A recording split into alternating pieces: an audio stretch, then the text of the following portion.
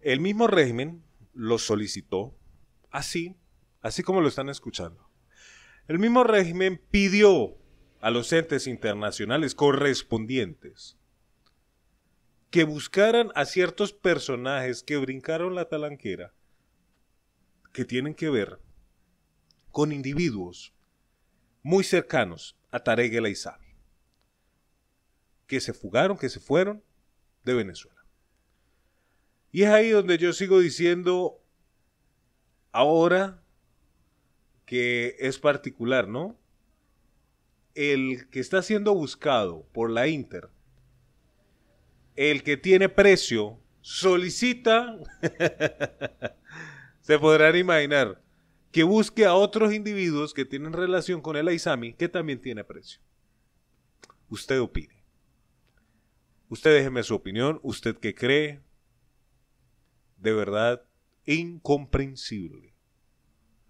Pero, ¿qué mejor estrategia que solicitarle a estos entes internacionales esto para ellos quedar muy bien.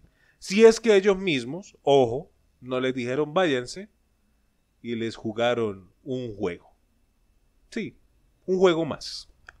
Pero escuchemos la noticia y como le digo, usted en este momento opine el régimen del dicta, el régimen de Nicolás, el régimen que se sienta en Miraflores no se puede describir de otra manera que un régimen y una usurpación. Habría solicitado a la Inter la búsqueda de varios individuos que se fueron de Venezuela y que están siendo buscados por los mismos chavistas. Y aquí hay algo que, hay que tener en cuenta algo, ¿no? Lo que decía la profesora Elsa en el video anterior, el único responsable de que esto pasara es Nicolás Maduro. Y sí es el único responsable. Porque a mí nadie me saca del cuento de la historia de que él no sabía nada. Ese señor, el dicta de Miraflores, lo sabía y con autorización de todo. ¿Qué le tocó ahora? Hacer esta jugada muy bien pensada, pero a la vez también se le fueron varias cosas que se le escaparon de las manos. Porque estos personajes que presuntamente él mandó buscar tienen que ver con el grupo de Tarek el Isami quien se encuentra en Fuerte Tiuna, paseando, comiendo, pasándola bien. Un año sabático. Un año sabático. Sin duda que sí. Para después salir como embajador de algún país. Así lo informó, así lo informaron varios periodistas como David Placer. Eh, una buena cantidad de ellos ha llegado a España dice la información, ha llegado hasta ese país. Ya las autoridades españolas tienen registro de entrada y una buena cantidad de ellos tienen su nacionalidad de allá, como de nuestro país. He podido confirmar esta información por fuentes, y escúchenme bien, confiables, cercanas a la investigación. Dijo así el periodista. Indicó que doblemente estos señores tenían sus nacionalidades de algunos que tenían mucha relación con Tarek El Aizami. Podría en cualquier momento llegarse el momento que los vean y los envíen para Venezuela. Así de sencillo. Sigue diciendo, esa orden se presentó físicamente en las oficinas de la Inter del país, según he tenido noticias recientemente. Y una buena cantidad de ellos estaría en España y también otros habrían ido a países de Europa. Una vez que se inicie la búsqueda y se dé lo que se tiene que dar por las autoridades respectivas del país, comenzará el proceso de enviar hacia Venezuela, que muy probablemente no será expedito, sino que se dilatará en el tiempo. Lo estamos buscando, dijo Nicolás, el día viernes 28 de abril, que un grupo de personajes en el cuento de la corrup de él, porque la corrup es de él, bien lo dijo la profesora Elsa, él sabía muy bien todo lo que estaba pasando, perfectamente lo que estaba pasando, y por eso le dijeron, deje el show, y más bien tome vergüenza, agarre vergüenza. Está calculado en varios millones de dólares los bienes que se han asegurado y sacado a los grupos de Tarek El Aizami. Un grupo se fue al exterior, lo estaban buscando también. Aseguró el régimen del dicta durante un acto en el que firmó la ley con la que el chavismo pretende recuperar los bienes por la corrupción y los ficantes. Ahora la pregunta es, los 250 mil dólares mensuales que sigue recibiendo eh, Diosdi tienen algo que ver con esta corrupción. Que por cierto, según el mandato, según el artículo que ya hemos hablado, el 6699, si no me equivoco en este momento, que dice que no se puede usar el dinero del país para apoyar a partidos de ningún tipo, pero estos señores reciben 250 mil dólares mensuales, sobre todo Dios de Cabello.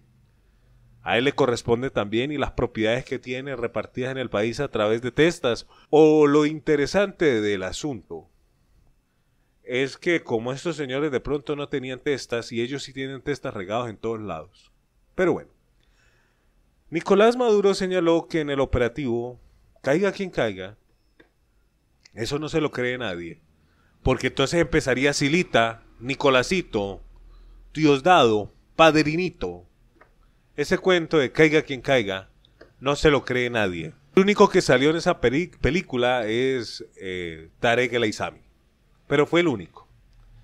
Señaló que se han eh, llevado 1.007 bienes, entre los cuales están 6 edificios, 38 apartamentos de lujo, 28 casas mansión, 16 oficinas gigantes, 4 grandes terrenos en zonas urbanas, 7 empresas, una posada, un club, 13 complejos empresariales con grandes galpones, con materiales, 4 fondos haciendas, 361 vehículos de alta gama, 52 camiones de paquete, 9 motos, 9 autobuses, 23 maquinarias pesadas, 19 aeronaves de primer nivel, 7 embarcaciones y un lote de, bueno, de muchas cosas más.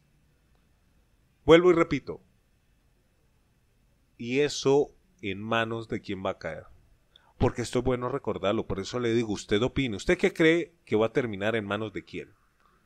Pues de los mismos. De los mismos con los mismos, se pagaron y se dieron los vueltos, porque según él esos bienes deberán ir al pueblo venezolano. Ya quisiera yo ver esa posada, ese club, esas siete empresas, esos mil siete bienes, esos edificios, esas camionetas de paquete de alta gama. Ahora que, ahora sí, ¿qué van a hacer? De todo eso me imagino que si acaso los buses, los autobuses, si acaso, ojo, si acaso, ¿no? También indicó que los bienes eh, de FICO y más son 71 casas y nombró las cantidades pues que estos señores han estado moviendo.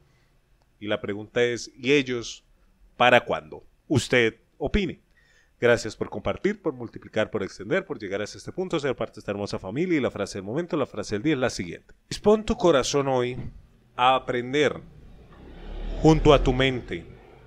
Dispón tu corazón a crecer, pero sobre todo dispón tu corazón a perdonar. Muchas veces es necesario retomar y perdonar. Muchas veces es necesario soñar que sí se va a lograr y disponerte, porque a veces dejar todo, perder tantos años, por una molestia que sí puede tener tiempo, pero que sí tiene solución y que sí tiene manera de resolver las cosas. Todo es cuestión de que las partes, así sean en la empresa, en el emprendimiento, en el negocio, en el proyecto, en la familia, en las parejas, en los hermanos, en los amigos. Todo tiene solución mientras las dos partes estén de acuerdo en buscar la solución. Y si ya tú sientes que lo diste todo, da la milla extra. Gracias por compartir, multiplicar extender. Un abrazo y hasta una próxima.